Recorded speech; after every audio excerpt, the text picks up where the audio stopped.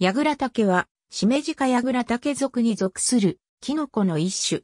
他のキノコの上に生える、小型の白いキノコである。北半球一帯に広く分布し、日本でも普通に見られる。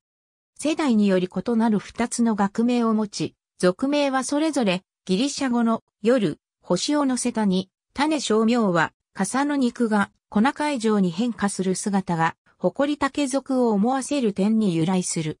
傘の径0.53センチ、全体の高さ1.3.5センチ程度の比較的小さなキノコである。傘は半球型からほぼ平らに開き、表面は平滑で粘性を書き、開白色ないしほとんど白色であるが、その中央部から次第に炭鉱褐色を帯びてくる。肉は薄く、はじめは肉質でほぼ白色を呈するが、古くなると高褐色に変わるとともに、崩れやすい粉塊状になる。ひだは柄に対して自家製内し上昇し、袖厚く幅広く、開白色からクリーム色である。柄はほぼ上下胴台で、長さ0.53センチ、太さ1-5ミリ程度、表面は平滑でほとんど白色を呈し、中身、または中空である。ひだに形成される端子胞子は楕円形ないし卵形で無色かつ平滑である。傘の表面に粉状の塊となって形成される、高ひだにおける端子胞子の形成はしばしば痕跡的で、端子柄すら形成されないこともある。近視には、春日連結を備えている。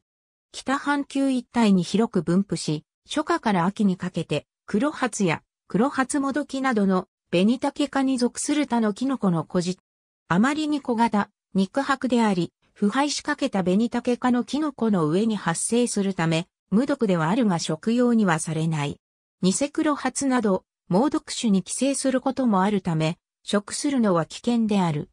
得意な生態を示すために、非常に珍しいものであるかのような印象をもたらすが、日本国内でも各地に産する。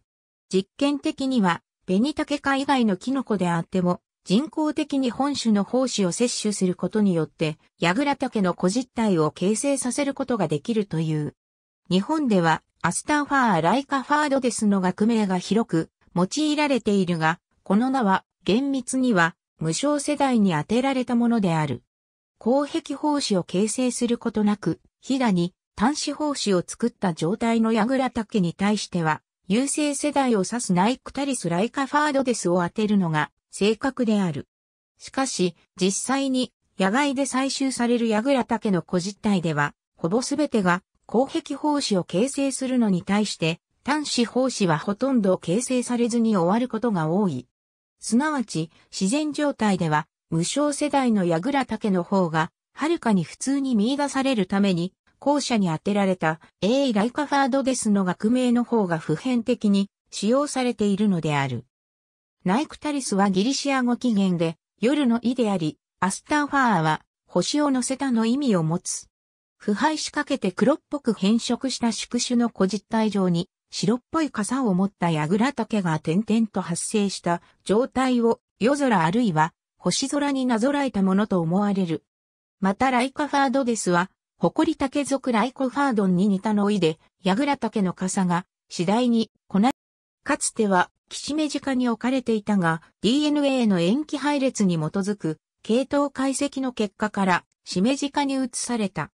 本種と同様にベニタケ科のキノコの上に発生するものに、長江のヤグラタケがあるが、ヤグラタケに比べて、発生は稀である。長江のヤグラタケでは、傘の表面は放射状に走る銀白色の繊維紋に覆われており、広壁胞子がひだに形成され、防水系三日月状で表面が平滑であることなどによって容易に区別される。ありがとうございます。